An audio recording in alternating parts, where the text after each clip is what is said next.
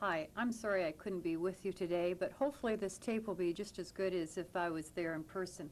The first book on the list is Yo Hungry Wolf. This came out late last spring, and it uh, didn't didn't come out soon enough to be on my spring bibliography, but uh, it's too good to pass up. This is the story of the uh, big bad wolf, and i he's very, very hungry. It is done in rap, and there are three nursery tales in this story. First, what happens is that the big bad wolf goes and he meets the three little pigs, and this is how this sounds. This here's the tale of a wolf that was hungry, had a swollen stomach all hollow and spongy, went to the barnyard looking for eats and spied three pigs all juicy and sweet. You kind of get the way that this goes. It's really delightful. Well, uh, the, the pigs outsmart him, and he is very, very hungry. As you can see, he's very skinny too. And so he thinks to do is check out Grandma's to see what's for dinner. And on the way, he meets Little Red. Well, Little Red and the woodsman completely outfox him too. And so then you see him slinking out of the woods in Granny's gown, in Granny's hat, and who does he meet? But the boy that cried wolf. This is a great book that you can use for both uh, kindergarten all the way through high school. Let the kids do their own nursery tales in rap. A delightful story. Next we have uh, something new from Lynn Marie Banks, and this is a departure for her. She is working now with uh, younger children in this book. This is called The Magic Hare. Now you notice that this book is kind of floppy. The reason why is this is an advanced copy of a book that's coming out in hardcover. In fact, the next six on the list are that way. By the time you see this tape, hopefully, you'll have these books in hardcover. But what we have here are 10 short stories about this magic hare, not a rabbit, but a hare. One of them is about a uh, dragon that flies uh, through the uh, around the earth trying to find uh, maidens that he can gobble up. And of course, the magic hare is bound to foil him. These tales are very warm and witty, very, very clever. Another one is about the black and white witch. Now, normally you think of a witch as being white with black clothes. Well, this is about a black witch with white clothes, and she's a pretty neat lady. Another one is about a king who goes through money so fast that his kingdom is always poor because he's always out of money. And he decides what he's going to do for the person that can come in with the biggest amount of money to help him out of his problem gets to marry his daughter. Now his daughter isn't fond of this at all. And if you notice the picture of this king, it's, it's cute because the artist in this, the illustrator, is Barry Moser. And this picture uh, shows a king that looks very much like Barry Moser. My favorite one, though, is when the rabbit meets the vampire. And what he does, he uh, as, as soon as this vampire is ready to get a girl, what he does, he causes the vampire's teeth to all drop out. Well, you can't be a very successful vampire without any teeth. Uh, again, very delightful stories. Last year, I don't know how many of you remember, I had a book about a boy that had muscular dystrophy and was in a wheelchair. I think it's really important for kids to have an understanding of kids with disabilities, and you can probably tell from the cover of this that this book, Eddie Lee, is about a boy with Down syndrome. And it starts out at the beginning of summer vacation, and we have our little girl here, Christy, and she's kind of bored, wondering what she's going to do with summer vacation, and she sees Eddie Lee sitting across the street. Now, her mother has said always to be kind to Eddie Lee, but he's, he's different, and she's not too sure of the whole situation. And so she goes and she meets up with her friend Jim Bud, and they're going to go to, down to a pond to look for tadpoles and Eddie Lee wants to come along with him. But Jim Bud says, no, you're different, I don't want you around, and he's not nice to Eddie Lee at all. So Eddie Lee turns away, and he's very, very unhappy. So the two of them, Christy and Jim, Jim Bud, go down to the pond, and while they're there, Eddie Lee follows, and he goes right into the pond, and he finds a salamander, and he picks it up very carefully and gives it to Christy. And then he said that he knows where there are tadpoles because Jim Bud did not know where there were tadpoles. And so he and Christy go to a pond and they find tadpoles. And uh, Christy wants to take the tadpoles home, but uh, um, Eddie Lee says no, they can't do that because otherwise the mother frog would be very, very sad. And then they look into the pond and there's ripples in the pond because a frog has just jumped in And Eddie Lee says, You look funny, Christy. And then he says that that's okay. He says, I like you anyway. He grinned his wide grin and put his right hand over his heart. It's what's here that counts, he says. And so Christy gains a great understanding uh, for Eddie Lee, and he's really a neat kid. I'm always looking for a good Halloween book. The one that I chose this year is By the Light of the Halloween Moon. And again, this is floppy because it, the hardcover isn't out yet, so bear with me. And this is about a toe, a lean and gleaming toe that taps a tune in the dead of the night by the light, by the light, by the silvery light of the Halloween moon. Well, on the next page you see a cat that is after the toe. And then you see a, a witch that is after the cat that is after the toe. And then a bat that's after the witch that's after the cat that's after the toe. And it keeps on going on like this. You go through a ghoul, a ghastly, drooling graveyard ghoul, and then you have a ghost, a Willowa ghost. And then you have a sprite, a grumpy, grungy hobgoblin sprite. And then it's a girl that is on the other end of that toe, a small, bright slip of a smiling girl who smacks the sprite, who bites the ghost, who trips the ghoul, who swats at the bat, who bumps the witch as she snatches the cat when he springs through the air to catch the toe that taps a tune in the dead of the night. Oh, no, you don't, she says. That toe is mine. By the light, by the light, by the silvery light of the Halloween moon. Oh, kids could have a ball with this one. You hear a lot in education today about cross crossing curriculums, and this book is, is great for that. My Christmas Safari is really the 12 days of Christmas set in Africa. So, on the first day of Christmas, my father showed to me a green truck for our safari. And then the last verse goes, on the 12th day of Christmas, my father showed to me 12 elephants trumping, 11 lions roaring, ten topis trotting, nine hyenas howling, eight hippos yawning, seven flamingos flying, six zebras barking, five big baboons. I'd sing this for you, but I know you would, really wouldn't want me to. Four shy giraffes, three wildebeests, two leopard cubs, and a green truck for our safari. You know, wouldn't it be fun to do this with other countries? You could do this with other country, countries. You could do it with so many things. Uh, a great book. And you know that I'm always looking for a very, very special Christmas book and something that's really warm that leaves a lump in your throat when you're done with the book. In fact, it's so lumpy that you can hardly get through it. And uh, for the past couple years, I haven't found anything. Of course, my favorites have always been Polar Express and You're the Perfect Christmas Tree. But this year, I think I've got it. Santa Calls by William Joyce. This is about a boy named Art Atchinson Aimesworth, and he lives in Texas. And he's an orphan. He lives around the turn of the century. He lives with his uncle and aunt who have a Wild West show. And um, he has a good friend named Spalding and a younger sister named Esther. Now, his only bad trait is that sometimes he's very mean to Esther. One time, a box, just before Christmas, a box showed up in his yard with an S C on the side of the box. And inside the box, they found a note that said, assemble the context, contents, come north, yours, SC. Well, they, they um, assembled this great flying machine and they took off to the North Pole. But before they got there, they were met with the Dark Queen and her dark elves who tried to capture them. And they were able to uh, get rid of them by hurling snowballs at them. And one of the snowballs that was thrown by little Esther hit the queen squarely, and she said, I'll get you for that. So remember that. Now, Esther almost didn't get to go on this excursion because Art didn't want her to go, but he finally relented and let, it, and let her go. So they get to the North Pole, and of course, everything is exciting. It's the night before Christmas, and Santa is getting ready to leave. And look at the illustrations, it's just beautifully illustrated.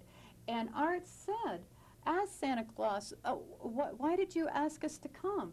And Santa says, Some secrets are best left unsolved. So they get in the sleigh and they're ready to take off on their big uh, Christmas Eve adventure when who appears? But the dark witch and her dark elves, and they capture little Esther. And Santa says, We'll have to call out the guard. But Art had this funny twinge inside of him, and he says, No, I'll go rescue my sister. So he does that. And he has to use his imagination and his wit, but he does get Esther back from the Dark Queen. So the next scene that you see is them back in Texas, and Santa Claus and Mrs. Claus are putting him in bed, and they go on their way doing their night before Christmas thing. The next morning they get up, and Art has gotten a brand new puppy, one of those that was running around at the North Pole, and he's so excited about his new dog. Spalding gets a brand new canoe, and he's excited. But Esther only has two letters. And the boys say, Oh, Esther, how sad. There's nothing to play with. And she smiles very secretively and she puts the envelopes into her little jacket and, and they go off and play. Well, what's in those envelopes? This is the thing that leaves the lump. The first letter is from Esther to Santa Claus and it says, Dear Santa, you can send me toys if you like, but what, what I really wish for is for my brother Art to be my friend. Yours, Esther Aimesworth. And the other letter is from Santa Claus, and it says, Dear Esther, such a rare and wonderful request could not be refused. I'm glad our little adventure did the trick. Signed, SC. Isn't that neat? I just love this book. Okay, as you know, I'm always looking for a poetry book too, and it was hard this year. I picked out uh, Jack Prelutsky's Dragons Are Singing Tonight with a Peter or pictures by Peter Sís. And it was an, in a strong contest with a book that you'll see on the also worth mentioning list that's called Walker, which is uh, a collection of Native American poetry, and the uh, artwork is just absolutely beautiful. But that is for uh, grades fifth uh, on up, and so I chose this one. As you can tell, it's all about dragons, and I'll read you just a couple so that uh, you kind of get the idea of what this is like. Dragon Brag.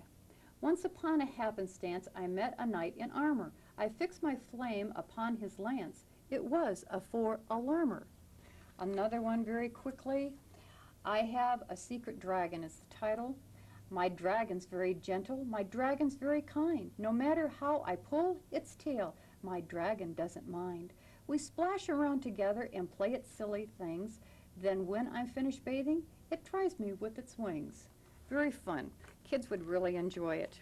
Okay, next one on the list is Hannah. This is for uh, um, somebody in grades like uh, second and third that's beginning to read. Hannah is a story uh, that takes place in northern Michigan in about the late uh, 1880s. And this little girl is blind, and she is kept home on the farm because mom and dad just don't think that she could function in a classroom.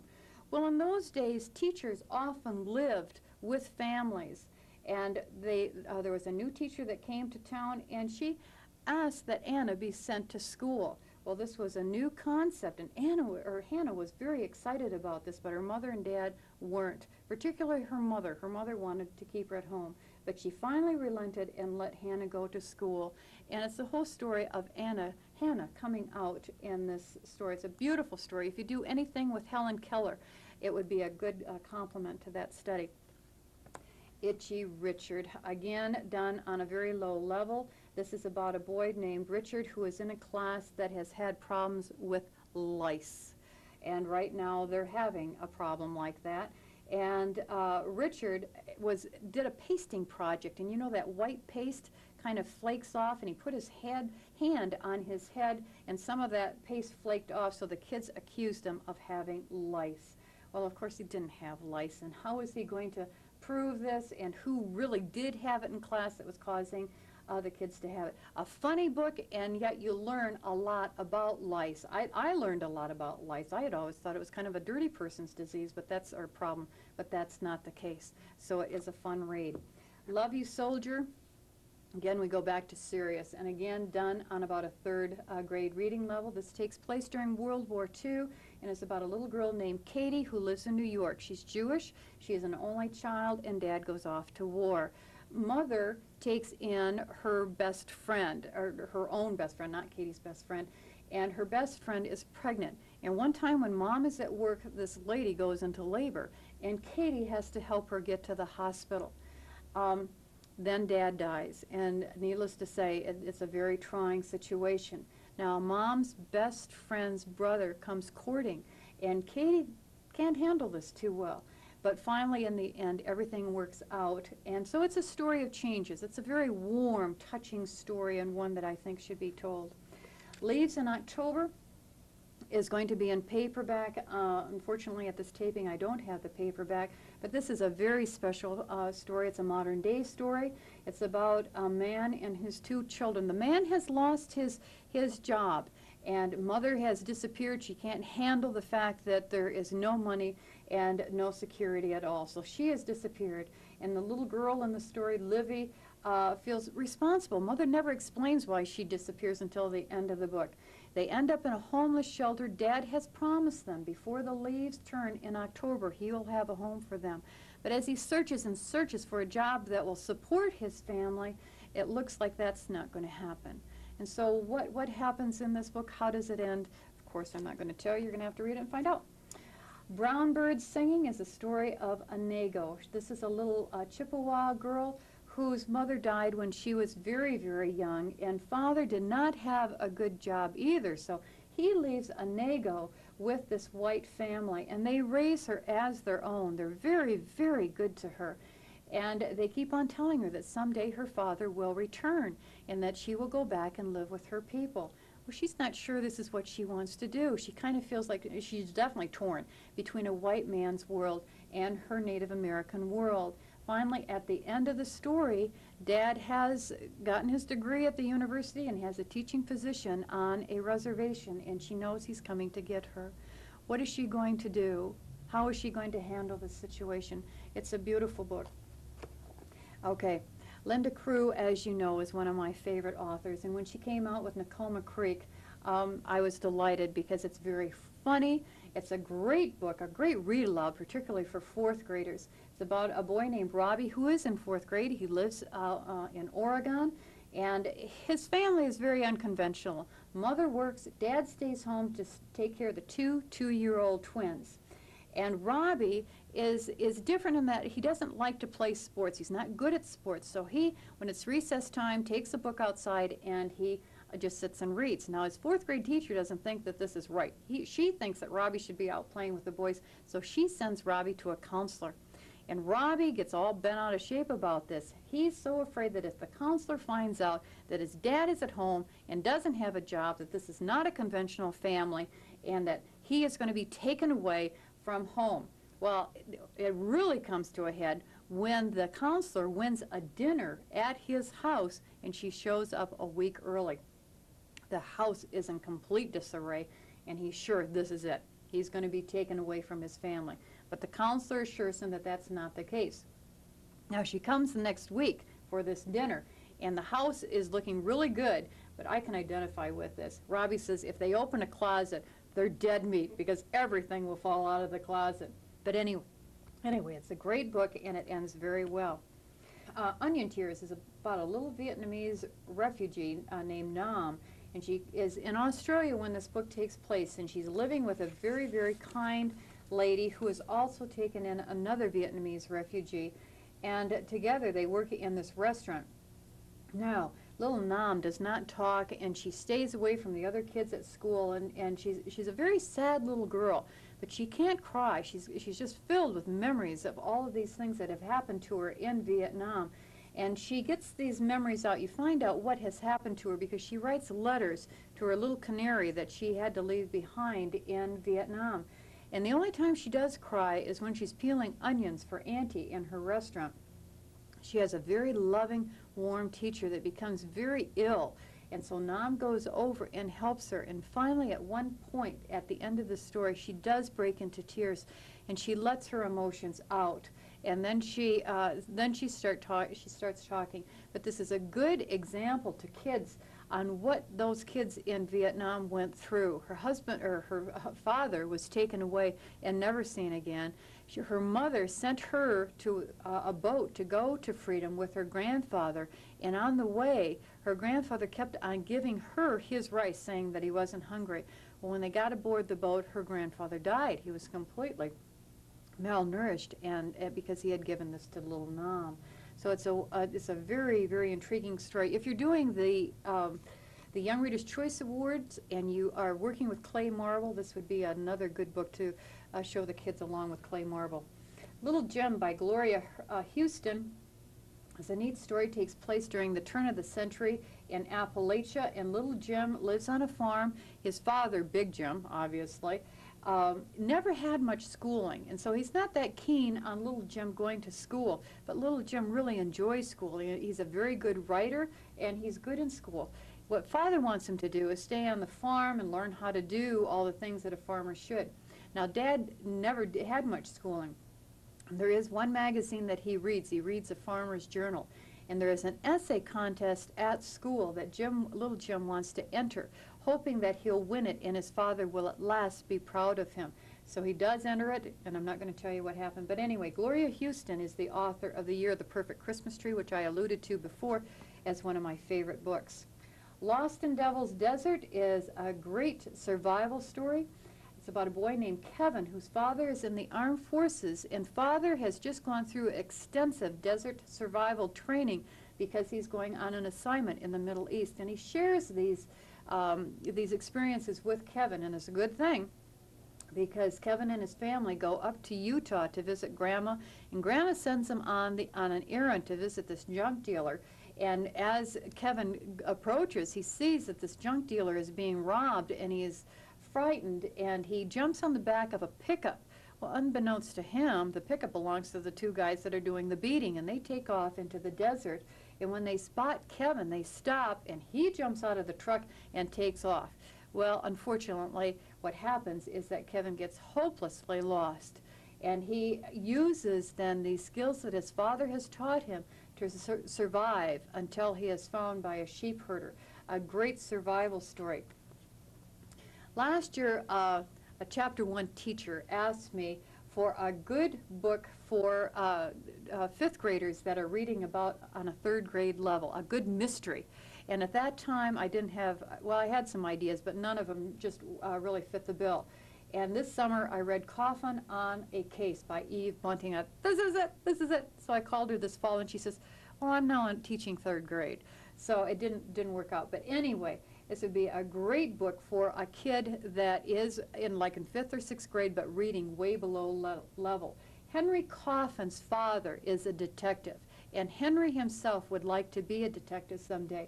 Well, one day when his father is out on a case, this girl who's about three years older comes in, and boy, Henry's smitten. He thinks she's pretty cool.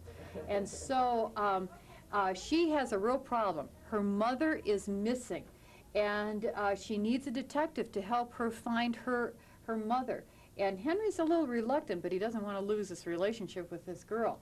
And the girl says that she's sure that if Henry's father is a detective, that Henry can do a job just as good as with the father. So they work together on, on the clues that are left behind, and sure enough, uh, somebody has taken this mother, and Henry ends up uh, being taken along uh, by the same people with the mother and how they get out of the situation. It's a great mystery. Really moves along well, uh, like all of Eve Bunting's things do. Okay, I'm really excited about this book. And again, by the time uh, the conference is on, we should have this in hardcover. Wolf uh, at the Door is by Missoula's own Barbara Corcoran. And what's neat about this book is that it starts out in Missoula and then most of it takes place up in Big Fork. And Barbara does admit that she takes some of the, some liberties with this. But one thing she says when she starts out this book that I thought was really neat is that they go to um, the ice cream store Goldsmiths in Missoula, and then they stop at the library where the nice librarians at the Missoula Library have saved books for her. Well, then they move up to Big Fork, and because uh, father has gotten a job in a TV station. They stop at one of those roadside zoos that really leave a lot to be desired, and they see this wolf, this female wolf, that looks like she is just about on her last legs. And Mother is really taken with this, and so is Lee. Lee is, is very, very um, sensitive about animals. So what Mother decides to do is to buy the wolf from the creep that has this zoo. And so she buys this wolf, a female wolf named Ruthie and they start um, start trying to get Ruthie to come back and uh, and, and, be alive and and uh, have some life to her. And there is a fellow that lives in Columbia Falls that have four wolves, and he hears about Ruthie and Lee and her mother and what they're doing. And so, she, uh, and he has to go on a trip. So he wants them to take care of the wolves. Well, of course, these four wolves aren't going to uh, aren't going to uh, have anything to do with Ruthie. And Barbara has done a great job in researching wolf behavior. So you learn a lot about wolves. And unfortunately, there are people that don't want wolves to be reintroduced. So you have a real conflict here. Plus the fun of reading about an area that is close to home. Monkey Island is the next one on the list. This is an ALA uh, recommended book. Again, you have the story about a boy whose family uh, the father loses his job, mother loses the job, and they are homeless. And, and what happens is that both father and mother take off, leaving this boy on his own. And he meets up with two elderly men, one black, one white, that are living in a park where a lot of homeless people live. And what is so sad is that there's a bunch of teenagers that come to this park one night and they go through and completely wreck the few things that these homeless people have. Again, this is a real eye-opener to kids who do not have any understanding or knowledge about what these people go through. Well, isn't this a lovely book? I don't even have a hardcover of this book that will be out in paperback real soon. The Gift of the Girl Who Couldn't Hear. We have a girl named Eliza who is 13 years old. This would be a great book for uh, reluctant readers also. And uh, Eliza had everything going for her. She had a very good friend who was deaf. And all of a sudden, when Eliza hit 13, she, there was nothing she really wanted to do. And how Eliza, or how her deaf friend pulls her out of this slump. It's a beautiful book, a beautiful book, and one I highly recommend. Steal Away is another neat story about a girl who, it takes place before the Civil War. This girl lives in the North. She's heard about slavery and has, uh, knows that it is wrong. Well, unfortunately, she's an only child, and her parents uh, die accidentally, and she is sent to the South to live with an uncle and aunt and her two cousins. Her older cousin is a male who um, has a few problems. She meets up, this girl's name is uh, Savannah, and she meets up with a servant girl, a black girl named Bethlehem. Now, the older uh, cousin hits on Bethlehem, and Bethlehem wants to leave. But she knows if she leaves and she's caught, she's probably going to be killed. But they decide that they will uh, leave. And so, because uh, Savannah isn't happy at this house at all uh, either, um, she's, she's just completely ignored. And so the two of them do steal away in the middle of the night. They dress up as, as uh, boys. And on their way, they see signs uh, advertising that they are runaway slaves and that they are to be returned. And at one point, Susanna is cut accidentally, and she is really in bad shape. And Bethlehem knows that she's got to get help for uh, Susanna, otherwise Susanna is going to die. And so she risks her life going up to this farmer to ask for help. Well, fortunately, the farmer is a Quaker and puts him on the uh, Underground Railroad as soon as uh, Susanna gets uh, better. But it's a wonderful story of the coming together of this black girl and this white girl. Lizzie Borden. Okay, this is a new series that's coming out by Harper uh, Row. Be judge, be the jury. And these are true trials. And Lizzie Borden has always fascinated me. You know, uh, Lizzie Borden took an axe, gave her mother 40 whacks, and when she was done, she gave her father 41. Well, this is all about the trial. So kids learn about trials, juries, the prosecutors, and the lawyers and what they do.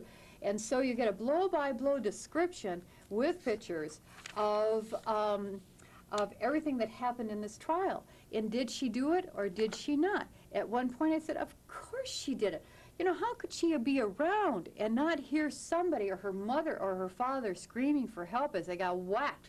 uh, by this axe. There's all kinds of evidence pointing up to the fact that she did it. But if she did it, why didn't people find blood on her, anywhere on her, in her hair or anything? She didn't have time to change or wash before people saw her. So what is the story? You have to be the jury and figure it out. It's a lot of fun. Next one, So Young to Die, the true story of Hannah Senesh. This is about a girl, uh, Hannah, who was born in Hungary like in the 1920s. She had a wonderful life. She was Jewish, and then all of a sudden, the clouds of World War II and Nazism started coming. And she, being Jewish, thought that she would should like to avoid all this and go to Palestine. And she tried to talk her mother, mother into going to Palestine with her. Well, of course, the Jewish movement was very young at that time, and she just she really enjoyed what she was doing. Well, World War II came around, and about 1944, it looked terrible for the Jews that were still in Hungary, and she felt guilty that she wasn't there bearing the burden. So the British wanted to form a secret troop of people that would parachute back into Hungary to rescue downed British pilots and other Jews that uh, they tried to, they wanted to get out. And of course, Hannah went back to get her mother. Well, she was caught. And at her trial, of course, she was accused of treason, and they were waiting for her to be sentenced when the end of the war came. And it looked like she would eventually be let out of jail, although her time in jail was absolutely terrible because the Nazis at that time did not take care of their prisoners very well at all. Well, one day, as she was waiting to be sentenced, a German uh, colonel, I think it was, came in and said, You're sentenced to death. And this wasn't supposed to happen. She says, I'll appeal. And he says, There's no time for appeal. You're going to die in an hour. And that's what happened to Hannah. And uh, so, a very moving story of, of a very heroic girl. Okay, I, I always have to have something on fantasy and folklore. And this one, A Stranger Came Ashore, is the one that I picked for this year. It takes place about, oh, maybe about 200 years ago in the islands of Scotland. And this is about a boy named Robbie. And the folklore in this is that a sea lion, the king of the sea lions, came ashore to find a girl that he could lure back into uh, the water to live with them. And the a girl happened to be the boy in the story, Robbie's older sister. And Robbie finds out about this. He discovers this uh, stranger's secret. And in order to be able to foil this, he has to get the help of a wizard that lives in the, um, in, in the village that he doesn't really want to have anything to do with it. Cages is on the Young Reader's Choice list this year, and I think it's excellent. These kids only have to read two or three books. This is one that I would like to see you push. This is a wonderful story about a girl named Kit who um, tries out for a part in a play and doesn't get it. And the girl that does get it has everything going for and Kit does not have a lot going for, for. She's a nice girl, but she has a stepfather who is an alcoholic. She gets home after hearing about the results of this uh, play, and her father, her stepfather, is in a drunken stupor. So she leaves and she goes to a uh, to the mall, and there's the girl that got the part. The girl's mother is buying her a beautiful bracelet, and Kit really feels sorry for herself, so she takes a bracelet. She shoplifts, and she is caught. And one of the things that she has to do to make restitution for this is to go to the Humane Society like once a week and just play with the animals that are there. And she knows so that hopefully their spirits will be kept up so that they will be adopted. And she knows that these dogs are going to be put to sleep if they are not adopted. And she, she falls in love with one dog, and of course her dad won't let her have it. And so she finds somebody to adopt this dog. And she's, she goes back to the Humane Society with the money to take care of this dog, and she finds out that the dog has been put to sleep. This one is a real tearjerker, but it's so important for three things, three reasons. First thing, how to deal with an alcoholic parent. One, shoplifting. If you read this book, I can't imagine a kid trying to shoplift. And then the problem that humane societies have with unwanted animals. Just a must. Of course, another book on our Young Reader's Choice list is the first book that uh, Ben Mikaelsen did. This is his second one, Sparrowhawk Red. And it takes place just uh, on the southern part of Arizona. It's a story about Ricky Diaz, whose mother uh, died accidentally, supposedly, in a car accident. But Ricky's father works for the feds on drug control and they think that uh, mother's death is related to this um, the, the father's work. Well, Ricky decides what he's going to do is avenge his mother's death by going into Mexico and stealing a plane and bringing it back that belonged to the drug dealers and bringing it back across the border. Now, he has to know how to fly, and Dad has taught him how to, how to fly. And this book really grabs you right at the very beginning. Ricky is soloing, and his father's down on the ground helping him, but things aren't going well, and it looks like Ricky's going to crash. So by page two, your heart is in your throat, and you think this kid's going to bite it, but you know he doesn't because otherwise the story would end. Very exciting book, one that I'd highly recommend. Weirdo, winner of the Edgar Award and all kinds of awards by. Um, Theodore Taylor is absolutely excellent. There's a boy named Chick, Chip Clewt that lives in the South in a swamp with his father. Now, Chip is known as the weirdo because what happened to him, he was in an airplane crash and the whole left side of his body melted. So he looks just absolutely terrible. And then there's a girl that lives outside the swamp named Samantha Sanders. And she accidentally goes into the swamp and she sees something. She sees, she's sure she sees a man being carried and dumped into a pit that nobody ever comes out of. In the meantime, uh, Chip has been working with a, um, a university professor that is doing a study on bears in the swamp area because it is now illegal to hunt bears in this area. And what the professor is trying to find out is if there are enough bears for hunting to be allowed again. Now, Samantha's father wants to start hunting. Uh, Chip doesn't want anything to, uh, to do with hunting, and he hopes that hunting will be denied. So you see a real collision course coming here. Who uh, was who is responsible for this professor's death. I'm getting away here. It's an excellent book, and again, one even though it's long, I would really recommend it for reluctant readers. Nothing but the truth is now in paperback, a runner-up for a Newbery. This is great.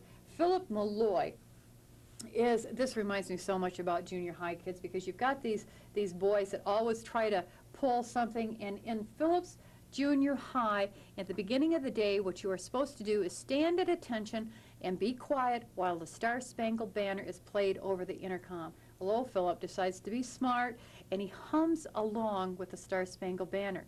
Supposed to be quiet. The teacher asks him to be quiet, and he, he isn't. He doesn't. He keeps on humming. So she sends him to the principal's office, and the whole thing just gets really blown up.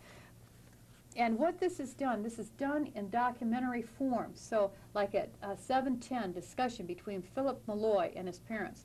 945, letter written by Margaret Narwin, who is the teacher that has sent him out of the room, to her sister. And it really is a good book, a, a good book on miscommunication. And um, what happens to Philip in the end is really That's interesting. Yes, yes, and this is on the Young Reader's Choice for the senior division, and a real good one. Another fun one for reluctant readers, Jerry Spinelli's There's a Girl in My Hammerlock. This is a girl named Maisie who is really very, very fond of this boy named Eric. And Eric won't have anything to do with her. He really likes this girl, this cheerleader type of girl. So Maisie decides to join the wrestling team, and what she has to do to uh, to uh, be put on the team and be able to stay on the team. It's really funny, and I think uh, kids in junior high need funny books. But the thing I like about Maisie is that she sticks to her gun. She's an individual. She doesn't go along with the crowd. And what's neat is that finally at the end, Eric does ask her out. And what happens when Maisie finally gets to date this really neat guy? You find out he's not neat at all. He's a creep. Okay, Checking on the Moon, Moon another ALA recommended book. This is about a girl named Cab Jones, who grows up in a town similar to Missoula in Texas, where there isn't a lot of crime, and her mother has to uh, go out of town, and so she doesn't want to leave her daughter uh, in, at home. She takes takes her to a suburb of Pittsburgh and uh, to live with Grandma. Now, Grandma runs a restaurant called Eats, and it's it's turns out to be in a very crime-ridden area. And uh, Cab helps her grandmother with the restaurant. And while she does this, she meets a, another girl that becomes her good friend. Her good friend's name is Tracy. Well, a lot of crime is taking place in this area. And Cab and Tracy and some of the other good neighbors decide to join together to fight this crime rate uh, wave. And it's really interesting to see what they do to take back the streets. A good novel, I think one that will make our kids here in Montana appreciate the fact that they don't have a lot of crime in this state. Please Remove Your Elbow from My Ear by Martyn Godfrey. I really like this guy. He taught junior high for a number of years, and boy, is he in tune to junior high kids. In fact, as I was reading this, I, I, I, it brought back to me a lot of the frustrations I felt when I was in junior high. This is about a, a boy named Stormy who has a, a mouth that is too big. He says things when he's not supposed to say things. He's small, so he gets picked on. This is a story of dealing with bullies. Well, uh, Stormy ends up in the detention uh, room along with some other what they call dregs of the school. And they find out that there is going to be a field hockey competition. And of course, all the suave, neat kids are on one team. And these kids in this detention room decide that they're going to have a team of their own. And how they outwit this smart, cocky team that, you know, the cheerleader, the, the boys that have everything type of group, it's neat. And it is funny, too. So again, you have humor. Uh, 20 Pageants Later by Caroline Cooney. I really like uh, Caroline Cooney. I think she does great stuff. Anyway, Scotty Ann is the younger sister of a girl who enters, is in these beauty contests, and for the most part wins. And so you know that all the attention in the family goes on this older sister. Scotty Ann finds herself involved in a beauty contest. She's she's put there kind of by hook and by crook, and she does not want to buy it or be in it. But anyway, she's in a beauty contest in her own school. And um, what happens when she is a part of this too? A, a great story on on being happy with yourself and not wishing you're some somebody else. Jumping uh, the Nail is again by Eve Bunting. I usually don't try to have the same author with two books on my bibliography, but a good one for again reluctant readers that moves very very fast. You have a girl named Drew who the story is about. This takes place in a part of California where as you can tell by the cover there are these big cliffs and it really is uh, an act of daring to jump off this 90 foot cliff into the water. And it hasn't been done for 10 years. 10 years ago, a girl tried this and she was paralyzed. She survived, uh, but she was paralyzed for the rest of her life. Well, there's a guy in, in their school named Scooter who's a very daredevil type, type, uh, type of person. And he has a girlfriend who has a lot of emotional pr- uh, problems. And he talks her into making this plunge with her. And then after they do it successfully, the girl has, has a terrible time with this. And, um, but Scooter wants to do it again. And you see that we have a real, a real problem with this. Drew tries to talk this girl out of it, and she has a boyfriend named Mike. If there's any flaw in this book, it's that Mike is a too perfect type of person. I can't believe that there's guys out there that are as neat as what Mike is. We don't want my 17-year-old son to hear me say that. Anyway, another uh, book that we hopefully will have by the time of this uh, presentation, Hugh Glass, Mountain Man, is your ultimate survival book. This takes place in the Yellowstone area, probably about the 1830s. Hugh Glass was a mountain man, and he was attacked by a grizzly bear, almost torn in two. And he was on, a, on an expedition, and he was uh, left with two other mountain men who were just there waiting for him to die so that they could bury him properly. Well, uh, unfortunately, they saw or, um, Indian sign, and they were sure that there were Indians that were going to attack and do all three of them in. So they left. One of the men that was there was Jim Bridger. Well, Hugh Glass didn't die. He crawled 200 miles to the nearest fort, mainly for revenge. But how he survived on this trek to this fort is incredible. What he had to eat would kill you just to read about it. But anyway, fortunately for him, some Indians did find, friendly Indians did find him and helped him along. But how his feelings of revenge uh, were softened during this trip. Um, really is an excellent story and a great way, if you're going to do Montana history, a great way to introduce the, um, the Mountain Man segment. As you know, I always save the best for last, and to me, this is the best. Bear Dance is a sequel to Bearstone, Will Hobbs' uh, Bearstone. Um, if you remember in Bearstone, Cloyd was a Ute Indian boy that uh, was an orphan, and he was adopted by an old, or not adopted, but taken in by an old rancher in Colorado. And Cloyd spent a lot of time out in the wilderness, and he felt that he was responsible for the shooting death of the last grizzly in Colorado. Okay, this book takes place, Cloyd has heard rumors that there was a grizzly sighting up in the mountains of Colorado. So he talks the old rancher into going up with him. When they are up there, they meet a girl. She is uh, an Indian girl from Alaska, a woman from Alaska, who works at the University of Montana in the department that researches bear. So she has heard the same rumor, and she's down there looking for uh, this grizzly also. Well, they do find the grizzly. It's a female grizzly that has two uh, cubs. And as Cloyd is watching this grizzly one day, an avalanche wipes out this mother grizzly. And he knows that the only way those two cubs are going to survive, if he stays the fall and helps them get the food that they need to survive into the winter. So it's his story of doing everything imaginable, even when they get stuck down in a cave and can't get out. And he has to go into the cave and rescue them to make sure that these cubs survive. It's a wonderful story and so very, very well written that my feeling is this is what I would like to see get the 1994 Newbery Award um, award. This is what should get it. Whether it does or not will remain to be seen. Have you ever seen a Newbery awarded to a Western book? I haven't, but uh, this is what I recommend. So this is it for this year. I hope you've gotten a lot of ideas. Thank you. I Made it. Okay.